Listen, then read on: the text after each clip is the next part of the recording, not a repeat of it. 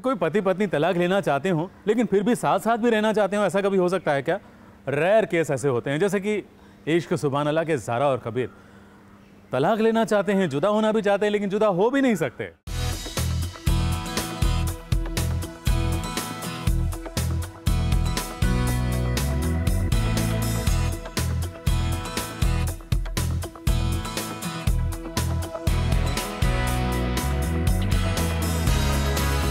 कबीर को जारा का इश्क बार बार बुला रहा है।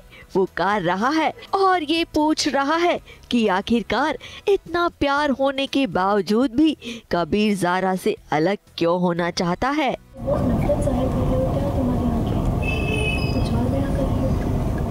कबीर अपने प्यार से इतना क्यों कतरा रहे हैं? चुप चुप कर जब वो अपने जारा की प्यार भरी बातें सुन रहे हैं तो दूसरी तरफ़ जारा को अपनी यादें साथ ले जाने से मना कर रहे हैं। आखिरकार ऐसा क्यों हो रहा है? अपने घर जाओ जारा। तुम्हारा सच।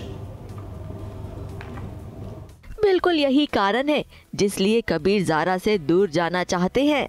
अब जारा की ज़िंदगी की सलामती के लिए कबीर ने खुदा से मन्नत जो मांगी है कि अगर जारा सही सलामत रही तो वो जारा से दूर रहेंगे। ये है वो राज जो तुम जानना चाहती हो और ये है वो सच।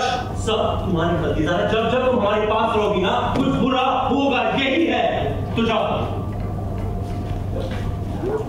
क्या ये अगर हम तुम्हारे पास रहेंगे तो कुछ बुरा होगा।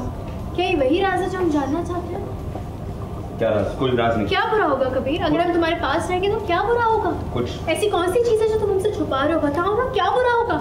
हमने अब्बू को भी कहते हुए सुना था। वो तुम्हें धमकी दे रहे थे डरा रहे थे। अब भाई मानना पड़ेगा कबीर के प्यार को।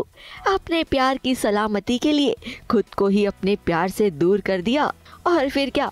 इस प्यार के दर्द में कबीर अकेले ही तड़प रहे हैं। अब देखना ये बनता है कि जारा। कबीर के इस मन्नत को पूरी कर, फिर से कबीर के साथ कैसे वापस आएगी? ABP news report